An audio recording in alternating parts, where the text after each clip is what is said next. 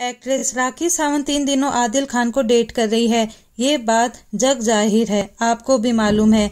आप ये भी जानते हैं कि जब उनको गुस्सा आता है तो वो क्या क्या बोल जाती है। इसकी जानकारी उनको खुद को भी नहीं होती है, खासकर जब बात उनके बॉयफ्रेंड आदिल की होती है। अब लाइव सेशन में लोगों ने उनसे रोशिना और आदिल की शादी की बात छेड़ी थी तो वो फट पड़ी। उन्होंने रोशिना को बहुत कुछ कहा, लेकिन रोशिना भी चुप नहीं रही। उन्होंने राखी सावंत को करारा जवाब दिया है।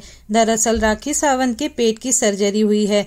वो अस्पताल में भर्ती है। उन्होंने वहाँ से एक छोटा सा वीडियो शेयर किया था, जिसके बाद सभी फैंस परेशान हो गए थे। उन्होंने एक्ट्रेस से पूछा भी था कि उनको क्या हुआ है। सभी की बातों का जवाब देने के लिए राखी ने 30 अगस्त की रात एक इंस्टाग्राम लाइव किया। इसमें उन्होंने अपनी हेल्थ अपडेट दी। साथ ही रोशिना पर भी खूब गुस्सा हुई, क्योंकि लोगों ने कहा है कि रोशिना का कहना है कि आदिल उनसे शादी करने जा रहे हैं। राखी सावंत ने वीडियो में कहा था, उसे भौंकने दो, मेरा आदिल मेरा है और वो मुझे सच्चा प्यार करता है। आदिल धोखेबाज नहीं है। सभी लड़कियाँ आदिल के पीछे पड़ी हैं, क्योंकि वो बहुत स्मार्ट और हैंडसम है। रोशिना पब्लिसिटी स्टंट कर रही है, जानबूझकर मुझे छेड़ने की कोशिश कर रही है। रोशिना के बारे में बात मत करो और मुझे दुखी मत करो। आदिल उससे बात नहीं करता है, वो खुद पोस्ट करती रहती है। अब इसी बात का मुँह तोड़ जवाब रोशिना ने अपने इंस्टाग्राम पर दिया है। राखी से वो कहती है कि मुझे नहीं पता कि तुम्हारे दिमाग में क्या चल रहा है, लेकिन तुम्हारी हिम्मत कैसे भी मेरे बारे में ऐसा बात करने की। तुम मेरे बारे में ऐसी भद्दी अफवाह कैसे फैला सकती हो? एक महिला होते हुए भी तुम बहुत कठोर हो। बता दे कि रोशिना ने आदिल को करीब चार साल डेट किया है। उनका पूरा नाम रोशिना देलावरी है।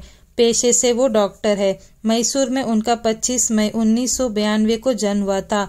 एक बहन भी है, जिनका नाम डेलनिया देलावरी है। पर्सनल लाइफ में रोशिना काफ़ी खूबसूरत और ग्लैमरस है। सोशल मीडिया पर खासा एक्टिव रहती है। रोशिना दिलावरी सुर्खियों में तब आई थी जब इन्होंने मई 2022 में राखी को कॉल किया था और खुद को उनके बॉयफ्रेंड की एक्स बताया था। साथ ही राखी को आदिल से दूर रहने के लिए भी कहा था।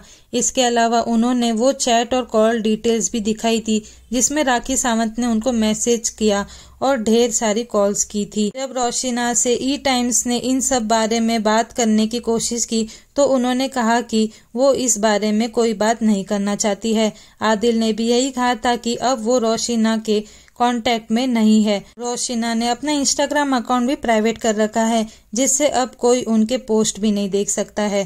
फ़िलहाल आपकी क्या राय इस खबर पर हमें कमेंट्स पर ज़रूर बताइए। साथ ही अगर आप नए हो तो हमारे चैनल को सब्सक्राइब कीजिए।